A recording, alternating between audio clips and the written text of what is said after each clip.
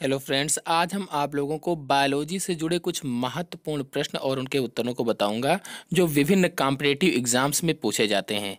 तो चलिए शुरू करते हैं। पहला प्रश्न है, मधुमक्खी की रानी किस कार्य के लिए विशिष्टीकृत होती है?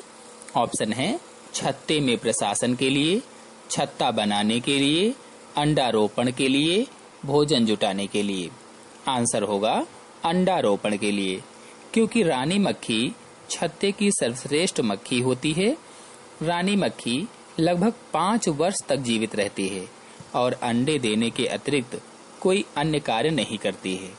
अगला प्रश्न है, इनमें से कौन सा कीट सामाजिक है? ऑप्शन है, घरेलू मक्खी, खटमल, दीमक, मच्छर। आंसर होगा सी, दीमक। दीमक के अलावा मधुमक्खी और ततैया भी सामाजिक कीट होते हैं। अगला प्रश्न है, लाख होती है। ऑप्शन है, एक पौधे की जड़, एक पक्षी का घोंसला, एक कीट द्वारा श्रावित पदार्थ। आखिरी है, एक मछली की सलकें। आंसर होगा सी, एक कीट द्वारा श्रावित पदार्थ। लाख कीट भारत और वर्मा के जंगलों में पीपल, साल बरगद, अंजीर आदि वृक्षों पर पाया जाता है, जो प्रतिकूल ऋतुओं तथा शत्रुओं से बचने और अंडे देने के लिए लगभग दो सेंटीमीटर मोटी पपड़ी के रूप में, लाख द्वारा रक्षात्मक घोंसले के रूप में होता है। लाख का श्रावण मादा कीट करती है। लगभग दो करोड़ किलोग्राम लाख का निर्यात हमारा देश प्रतिवर्ष करता है। अगला प्रश्न है जू किसकी बाह्य परजीवी है? ऑप्शन है मछली मानव सर्प वेल आंसर होगा बी, मानो. इसके अलावा खटमल, पिस्सू आदि कीट भी बाह्य परजीवी होते हैं। अगला प्रश्न है, रेशम कीट पालन को कहते हैं? ऑप्शन है sericulture, pisciculture, apiculture, horticulture answer होगा ए सेरिकल्चर इसी प्रकार ये तीन जो ऑप्शन और बचे हुए हैं, इनके बारे में आपको बता देता हूँ। पिसिकल्चर मत्स्य पालन। एपीकल्चर मधुमक्खी पालन। हार्टिकल्चर बागवानी के लिए नाम दिया गया है। इसी प्रकार फूलों की खेती को फ्लोरिकल्चर केचुआ पालन को वर्मी कल्चर भी कहते हैं। अगला प्रश्न है, मधुमक्खी मधु का भंडारण किसमें करती है? ऑप्शन है आमाशय में लार ग्रंथियों में, छत्ते के कोष्ठकों में, क्रॉप में। आंसर होगा छत्ते के कोष्ठकों में। मधुमक्खियों के छत्ते में कोष्ठकों की रचनात्मक व्यवस्था अच्छे अच्छे भवन निर्माता भी समझ नहीं पाते हैं। मधुमक्खी खाद्य भंडारण के रूप में बहुत सा मधु या हनी इन्हीं कोष्ठकों में संचित रखती है। अगला प्रश्न है, अफ्रीकी निद्रा रोग होता है, ऑप्शन है, Trypanosoma gambiense, Entamoeba gingivalis, Plasmodium vivax, और अंतिम है ऑप्शन, ट्रिपेनोसोमा लेविसाई। आंसर होगा A, Trypanosoma gambiense.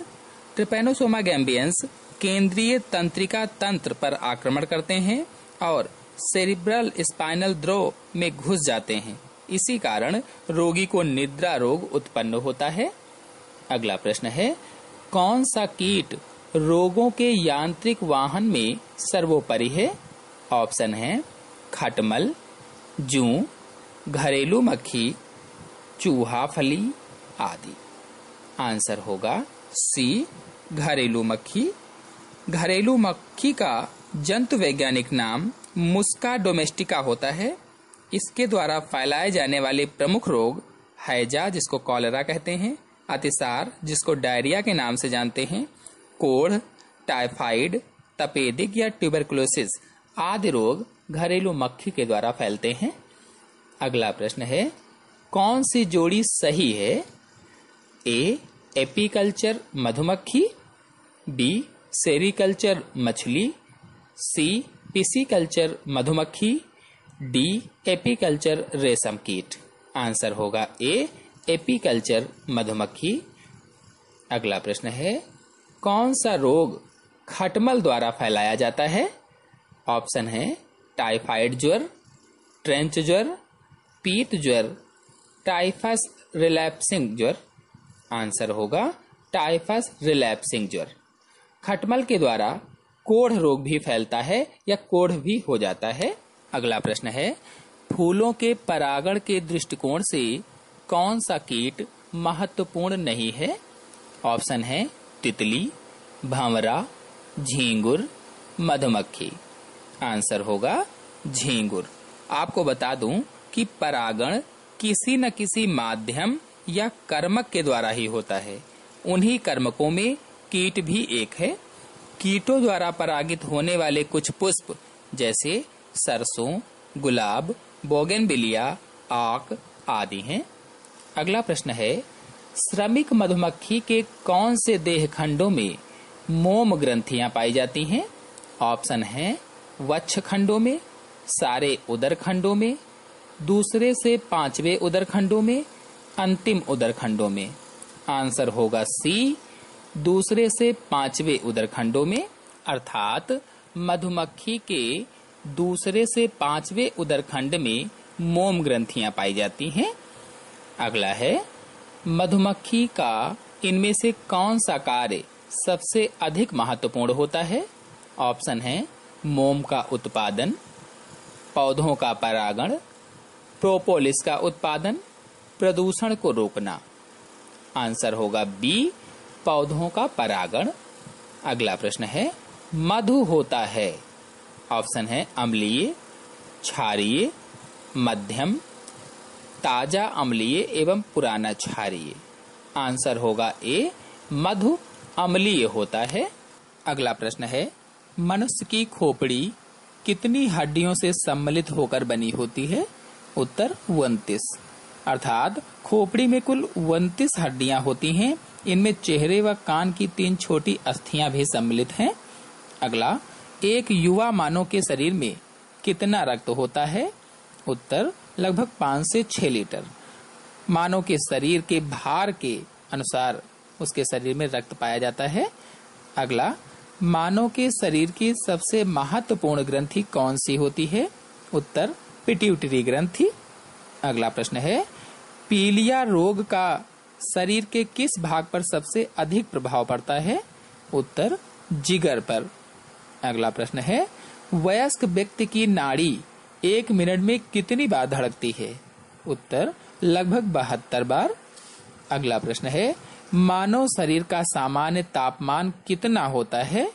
उत्तर, सैतीस डिग्री सेंटीग्रेड। अगला, सोयाबीन में सबसे अधिक कौन सा पदार्थ होता है? उत्तर, प्रोटीन। अगला प्रश्न है, एक सामान्य व्यक्ति के शरीर में कितना रक्त होता है? उत्तर, शरीर के वज़न का लगभग सात प्रतिशत। अगला पेस मेकर शरीर में क्या कार्य करता है? उत्तर, दिल की धड़कन को चालू रखता है। अगला प्रश्न है, सूर्य के प्रकाश द्वारा कौन सा विटामिन हमें प्राप्त होता है? उत्तर, सूर्य के प्रकाश से हमें विटामिन डी प्राप्त होता है। अगला प्रश्न है, शरीर को बढ़ाने में कौन सा तत्व मुख्य रूप से कार्य करता है? उत्तर, प्रोटीन। अगला प्रश्न है, वयस्क व्यक्ति का हृदय एक मिनट में कितनी बार धड़कता है? उत्तर, लगभग सत्तर से पचहत्तर बार धड़कता है। अगला प्रश्न है, मनुष्य के शरीर में कितना पानी होता है? उत्तर, लगभग पैंसठ प्रतिशत पानी होता है। अगला प्रश्न है, हिपेटाइटिस का शरीर के किस अंग पर प्रभाव पड़ता है? उत्तर, यकृत पर हिपेटाइटिस का प्रभाव पड़ता है। अगला, मानव शरीर के रक्त में लाल और सफ़ेद कोशिकाएँ किस तरल पदार्थ में तैरती रहती हैं? उत्तर, प्लाज्मा में। अगला प्रश्न है, मनुष्य का हृदय 24 घंटों में कितनी बार धड़कता है? उत्तर, एक लाख छह हज़ार पाँच सौ साठ बार लगभग में है ये। चाय में कौन सा अम्ल होता है? उत्तर, टैनिक अम्ल। अगला, चाय में हानिकारक पदार्थ क्या होता है? उत्तर, कैफीन। कैफीन मस्तिष्क को प्रभावित करता है। इसकी खोज फेडरिक रंज ने की थी। अगला, कृत्रिम रूप से फलों को पकाने के लिए कौन सी गैस काम में ली जाती है? उत्तर, एसिटिलीन या एथिलीन। अगला, गैसीय शीतल पेय बोतलों में कौन सी गैस भरी जाती है? उत्तर कार्बन डाइऑक्साइड अथवा CO2 अगला, भोजन का कौन सा खनिज प्रोटीन के साथ मिलकर हीमोग्लोबिन बनाता है? उत्तर, लोहा। अगला प्रश्न है, नारंगी तथा नींबू में कौन सा विटामिन प्रचुर मात्रा में होता है? उत्तर, विटामिन सी अगला, एक मानव शरीर की आवश्यक शारीरिक संपूर्णता के लिए सही अस्थि विकास हेतु कौन कौन से दो खनिज अनिवार्य होते हैं? उत्तर, कैल्शियम और फास्फोरस। यानी ये दो तत्व जो हैं, ये दो खनिज तत्व आपकी हड्डियों के लिए, अस्थियों के विकास के लिए अत्यंत आवश्यक होते हैं। अगला, भोजन के अलावा एक मनुष्य को और क्या आवश्यक वस्तुओं की आवश्यकता होती है? उत्तर, पानी और हवा की। अर्थात भोजन के अलावा मनुष्य को जीने के लिए पानी और हवा की भी आवश्यकता होती है। अगला, मानव शरीर में वसा की भूमिका क्या है? उत्तर, ऊर्जा आपूर्ति के लिए। अर्थात वसा का कार्य ऊर्जा आपूर्ति करना है। अगला, विटामिन ए का प्रमुख कार्य क्या है? उत्तर, विटामिन ए का प्रमुख कार्य आँखों के लिए होता है। इसके साथ साथ कान और नाक के सुचारू रूप से कार्य करने के लिए तथा रक्तपलता में अवरोधक के रूप में कार्य करता है। अगला, विटामिन बी का मुख्य कार्य क्या है? उत्तर, सामान्य भूख तथा पाचन क्रिया में सहायक। अर्थात, भूख और पाचन क्रिया में विटामिन बी सहायक होती है और साथ ही साथ स्नायु संस्थान को भी शक्ति प्रदान करती है। अगला, विटामिन सी का मुख्य कार्य क्या है? उत्तर, हड्डियों के निर्माण में सहायक होती है अर्थात नई हड्डियों के विकास में सहायक होती है। अगला, विटामिन डी का मुख्य कार्य क्या है? उत्तर, मज़बूत दांत तथा हड्डियों के निर्माण में सहायक है विटामिन डी जो सूर्य के प्रकाश से सबसे अधिक मात्रा में प्राप्त होती है। अगला, विटामिन ई का मुख्य कार्य क्या है? विटामिन ई का मुख्य कार्य प्रजनन शक्ति में वृद्धि करना, अर्थात जनन शक्ति में वृद्धि करना है। अगला, विटामिन के का मुख्य कार्य क्या है? उत्तर खून जमने में सहायता करना, अर्थात रुधिर का थक्का जमाने में सहायता करना, रुधिर का थक्का बनाना। चलिए, अब रोगों से जुड़े कुछ प्रश्न और उनके उत्तर बता देता हूँ, जिसमें से पहला है, मानव शरीर में लाल रक्त कणों की कमी से कौन सा रोग हो जाता है? अर्थात मनुष्य के शरीर में जब आरबीसीएस कम हो जाते हैं, लाल रुधिर कणिकाएँ कम हो जाती हैं तो कौन सा रोग हो जाता है? उत्तर, एनीमिया रोग हो जाता है। अगला पागल कुत्ते के काटने से होने वाले रोग का नाम बताइए।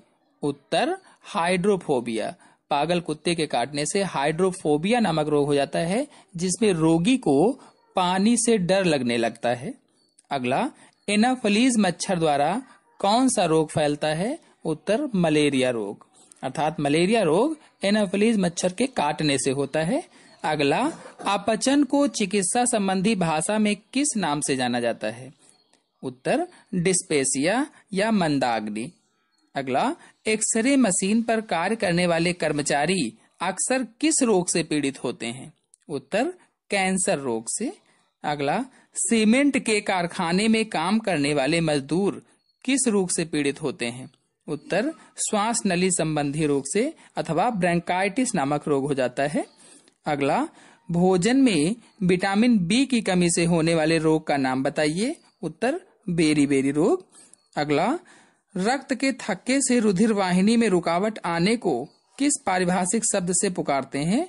उत्तर थ्रोम्बोसिस अगला, वायु प्रदूषण से मनुष्य में श्वास संस्थान संबंधी कौन सा रोग हो जाता है? उत्तर, दमा, जिसमें सांस फूलने लगती है। अगला, पानी में फ्लोराइड की अधिकता से कौन सा रोग हो जाता है?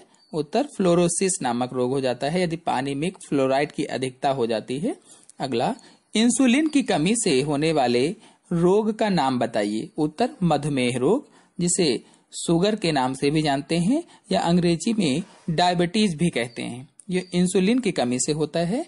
अगला, ब्लड कैंसर को आमतौर पर किस नाम से जाना जाता है? उत्तर, ल्यूकेमिया नामक रोग के नाम से जानते हैं ब्लड कैंसर को। चलिए, अब शरीर और उसके कार्यों से जुड़े कुछ प्रश्न तथा उनके उत्तरों को बता देता हूँ, जिसमें से पहला है, एक मानव शरीर में कुल कितनी पसलियाँ होती हैं? उत्तर, बारह जोड़ी, अर्थात चौबीस पसलियाँ होती हैं। अगला प्रश्न, मानव शरीर की सबसे बड़ी ग्रंथि का नाम बताइए? उत्तर, जिगर या यकृत। अगला मानव शरीर के किस भाग की मांसपेशी सबसे अधिक मज़बूत होती है? उत्तर, जबड़ों की मांसपेशियाँ अधिक मज़बूत होती हैं। अगला प्रश्न है, सामान्यतया एक औसत मानव शरीर का तापमान कितना होता है? उत्तर, सैतीस डिग्री सेल्सियस अथवा अट्ठानबे दशमलव चार डिग्री फारेनहाइट। अगला, सामान्य मनुष्य 24 घंटे में कितनी बार श्वसन करता है? उत्तर, बाईस हज़ार बार श्वसन करता है। अगला, एक सामान्य मनुष्य के हृदय से प्रति मिनट कितना रक्त फेंका जाता है या पंप होता है? लगभग पाँच से छह लीटर। अगला, मनुष्य में उच्च तनाव को किस नाम से जाना जाता है? उत्तर, उच्च रक्तचाप या हाई ब्लड प्रेशर अगला, नियमित रक्तदान करने वाले को किस रक्त समूह का होना चाहिए? उत्तर, ओ रक्त समूह का होना चाहिए, क्योंकि वो सभी को रक्तदान कर सकता है। अगला, लाल रक्त कणों का सबसे मुख्य घटक क्या है? उत्तर, हीमोग्लोबिन, जो ऑक्सीजन का परिवहन करता है। अगला, पायरोफोबिया कौन सा रोग है? उत्तर, पायरोफोबिया में आग से भय होता है, अर्थात आग से भय लगता है, डर लगता है। अगला, एक सामान्य मनुष्य के सिर के बालों की वृद्धि की दर क्या होती है? उत्तर, लगभग दो सप्ताह में एक सेंटीमीटर एक सामान्य मनुष्य के बालों में वृद्धि होती है। अगला, नस्वार किस पदार्थ से बनाया जाता है? उत्तर, तंबाकू से बनाया जाता है। चलिए, अब पर्यावरण से जुड़े कुछ अन्य प्रश्न और उनके उत्तर बता देता हूँ, जिसमें से पहला है, फोटोकॉपी करने वाली मशीन द्वारा कौन सा हानिकारक प्रदूषक वायुमंडल में भेजा जाता है? उत्तर, ओजोन गैस। अगला अदृश्य पर्यावरणीय प्रदूषण का नाम बताइए। उत्तर, ध्वनि तथा विकिरण प्रदूषण। ये दिखते तो नहीं है, लेकिन पर्यावरण को प्रदूषित करते हैं। अगला, पर्यावरण में डीडीटी का प्रभाव कितने वर्षों तक रह सकता है? उत्तर 20 से 25 वर्षों तक डीडीटी का प्रभाव रह सकता है।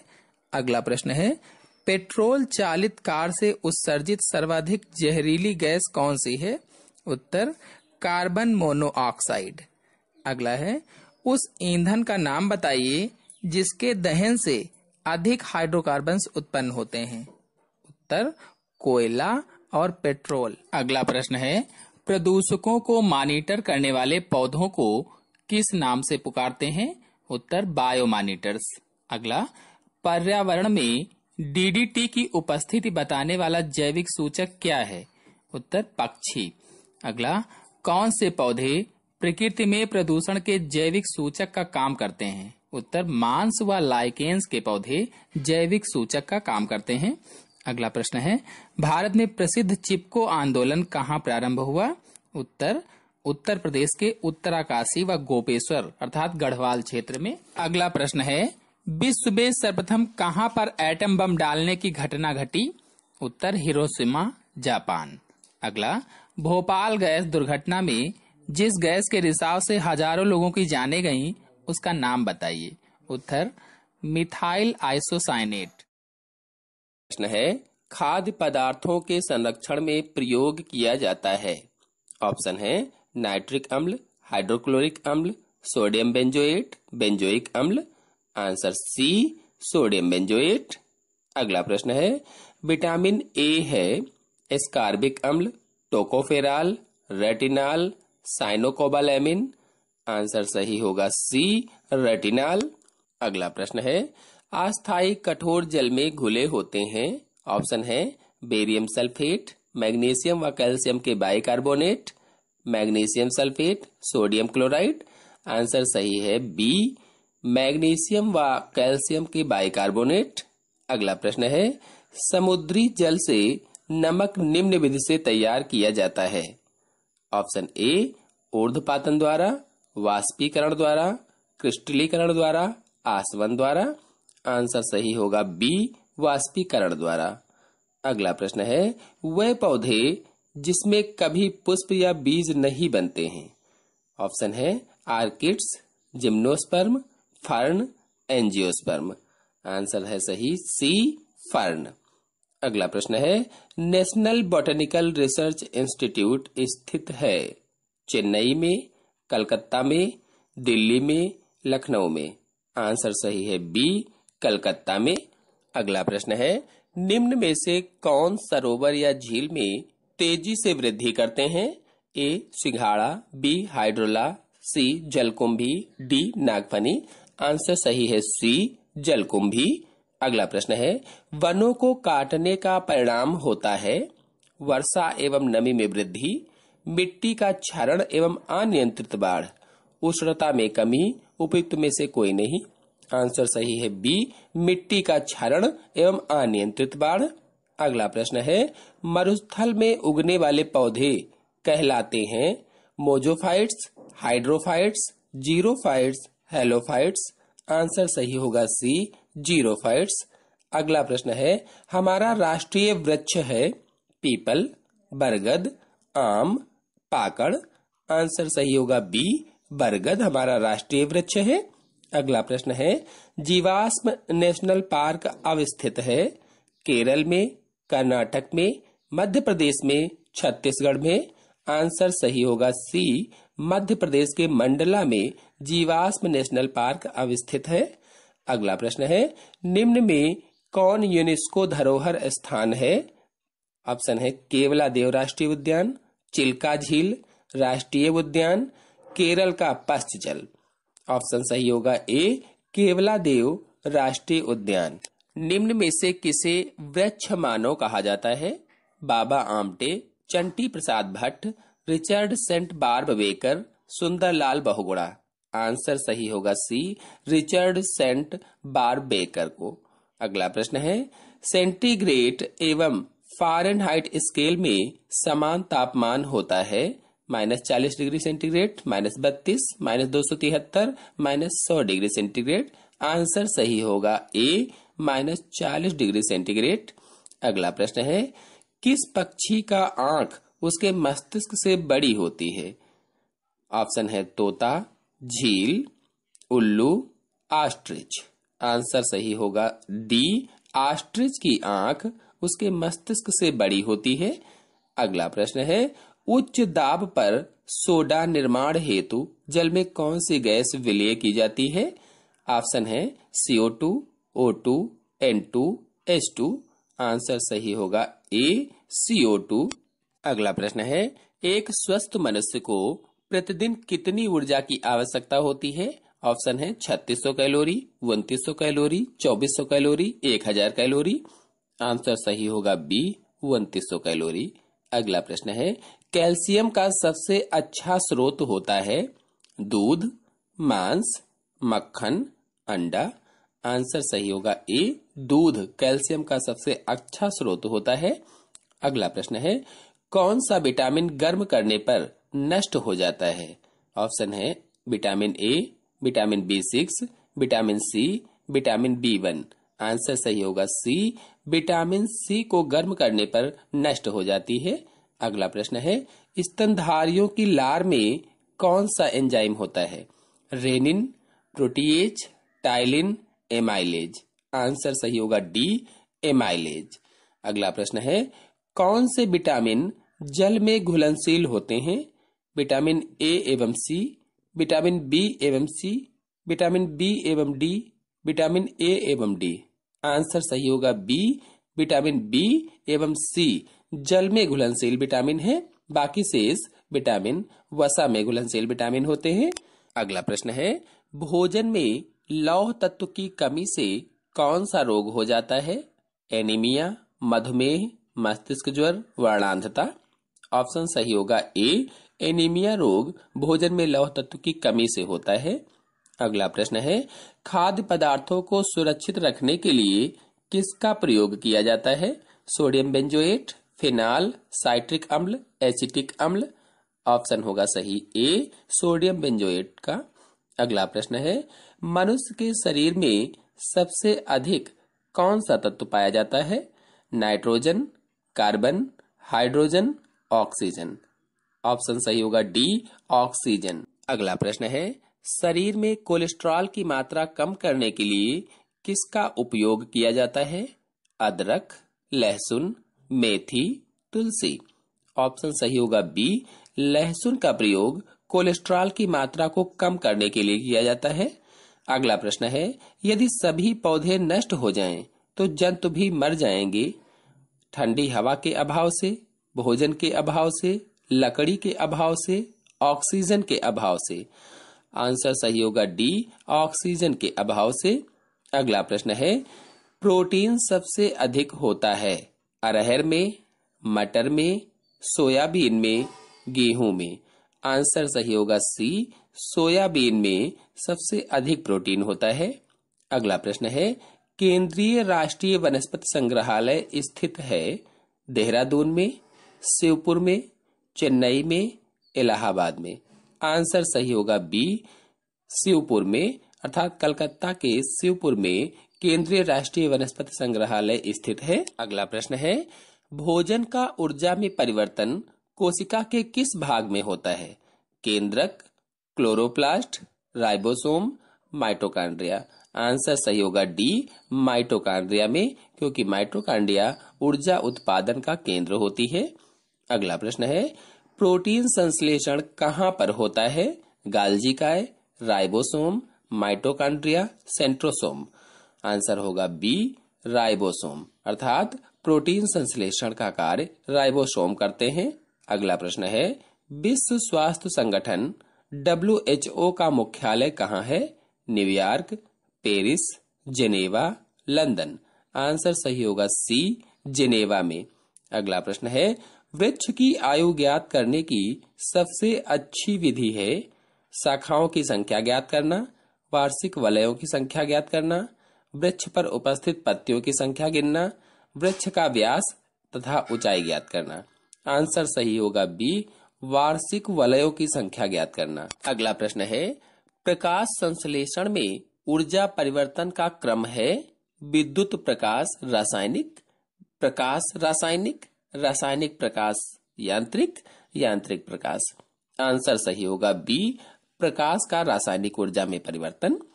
अगला प्रश्न है, क्लोरोफिल निर्माण के लिए आवश्यक है कापर और जिंक, कैल्शियम और लोहा, जिंक और बोरान, लोहा और मैग्नीशियम। आंसर सही होगा डी, लोहा और मैग्नीशियम। अगला प्रश्न है, एक मनुष्य को भोजन में केवल दूध, अंडे तथा रोटी दिया जाता है।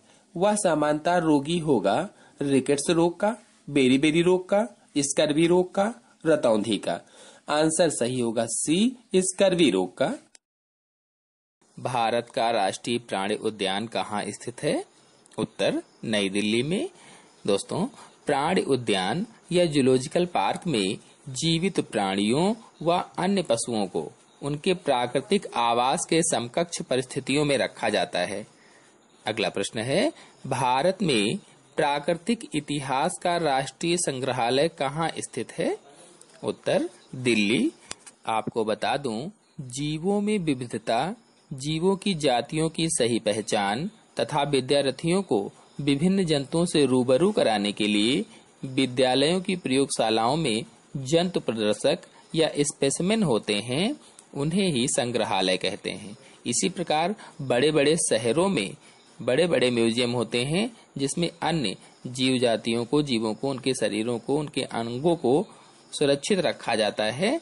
उन्हें राष्ट्रीय स्तर पर इसलिए उन्हें राष्ट्रीय संग्रहालय कहा जाता है।